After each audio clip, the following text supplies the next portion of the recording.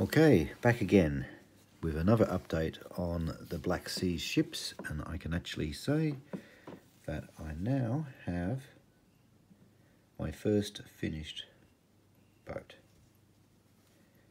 British frigate.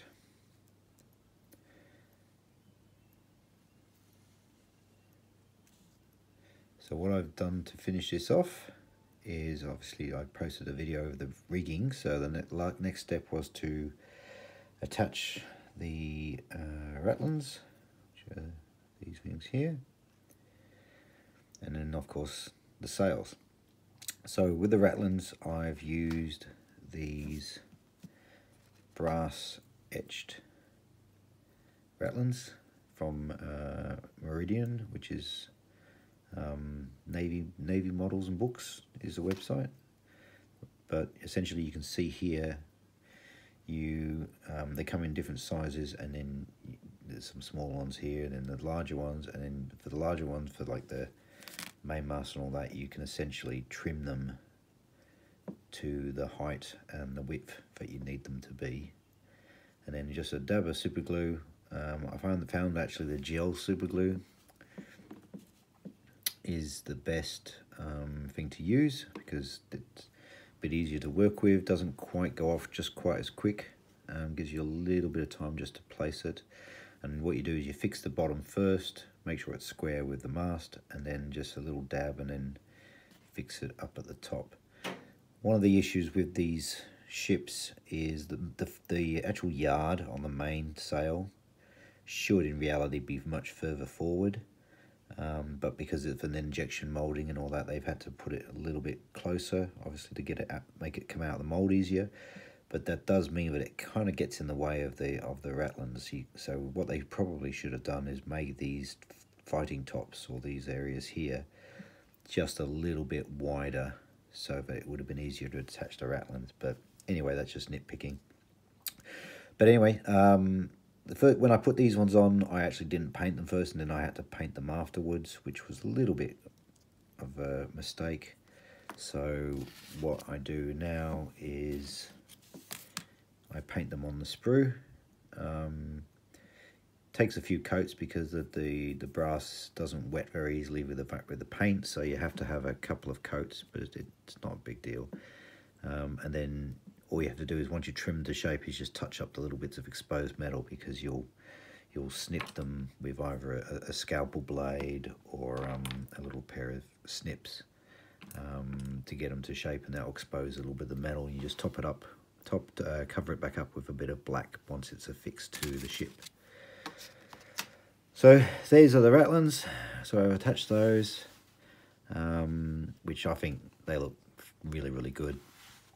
I so glad I actually went this way than, than the acetate ratlins that are supplied with the box or even, you know, probably with going with the with the Fred. Um, again, I, it's really just a question of that. My, um, my time is more important to me, so uh, I'd rather just get these done with these etched ratlins, um, which I think in the end look better anyway. But they are they're not cheap, so it probably doubles the cost of a model.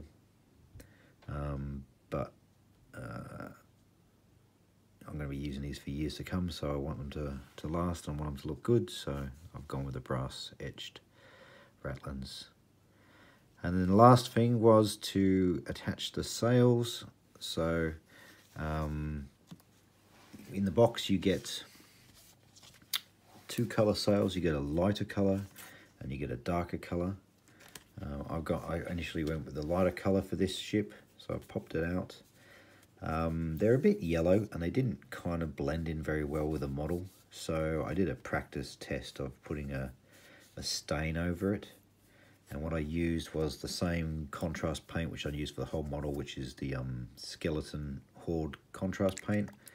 Again, you could probably use something like Army Painter Soft Tone, which I think I have some here. Yeah, you could probably use some Army Painter Soft Tone um, or even maybe a sepia type wash, um, the, the, old Gryphonne sepia from G Games Workshop, if you had some of that, although that might be a bit too dark.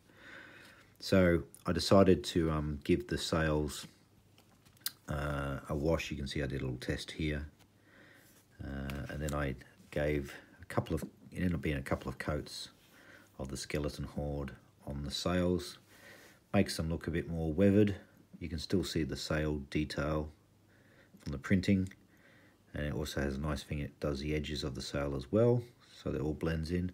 And I think it blends in better with the, the overall model.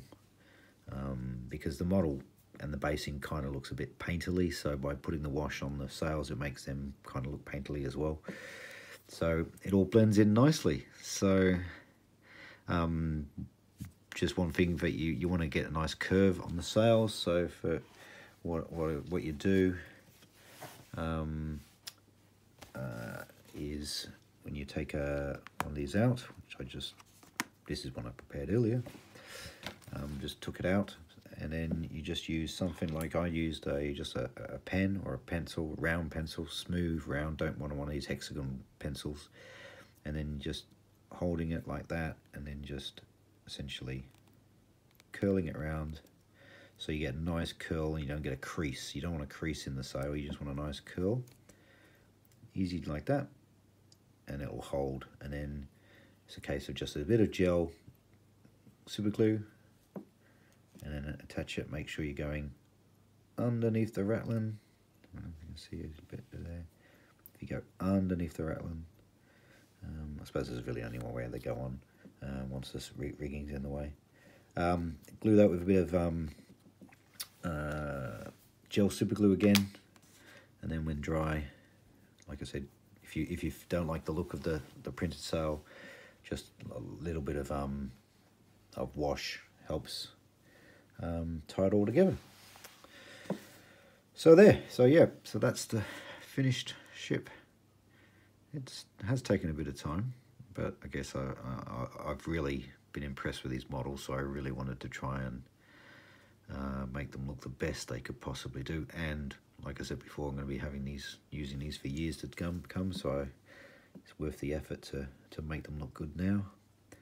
Um, Actually, with all the rigging and the and the sails and that and, and everything in place, the the masts are now are really quite rigid. So um, it's actually a lot more um, secure and, and, and stronger. I guess if you still dropped it, you'd probably break the break the um, mast, but but just any accidental knocking of it, you're not going to accidentally snap off a bit of a mast now that all this rigging's in place. It's actually doing what it does in real life, and that's actually stabilise all the masts. So so it's definitely worth doing all the proper rigging. Um, but yeah, so my first ship. Um, got uh, obviously another frigate, another four brigs to do. Uh, and you can also see over here, I've got a bunch of third rates that are um, just finishing off the base now. So uh, I've done the um, the blue colour, now I've just got to go back and do the, the white on the base and then gloss varnish and then straight into the rigging. Um, and then, yeah, so free British third rates, and I've got another free French third rates liner uh, on the desk over there um, waiting for their turn to be painted and I've got a couple of first rates as well so I've still got quite a lot of ships to go um, to finish this this first batch um, of, of uh, ships. But um, essentially yep a finished ship so if you've got any questions put some comments in the video um, or you can catch me on uh, Twitter uh, or the Facebook group. I'm on the Black Seas Facebook group regularly. So um, and I'll be posting these, this video on, on both Twitter and on uh, the um, the Black Seas uh, Facebook group. So um, yeah, if you've got any questions, uh, make put a comment in. Okay, thanks a lot. Cheers. Bye.